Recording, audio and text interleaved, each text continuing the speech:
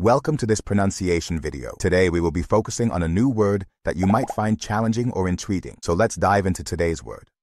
Roche, which means, A large rock or boulder, especially in a river. let's say it all together. Roche.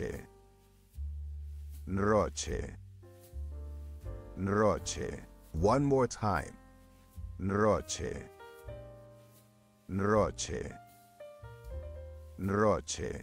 Thank you for joining us on this adventure in pronunciation. Remember, language is a journey, not a destination. Keep exploring, experimenting, and expanding your linguistic horizons. We'll see you next time.